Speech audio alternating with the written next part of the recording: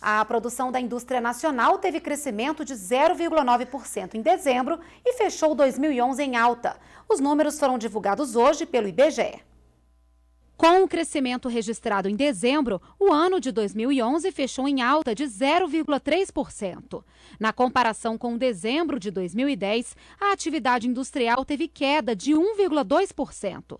O avanço de 0,9% da produção industrial na passagem de novembro para dezembro teve reflexo na maioria dos setores pesquisados pelo IBGE. A principal influência positiva veio de veículos automotores, com alta de 5,2%.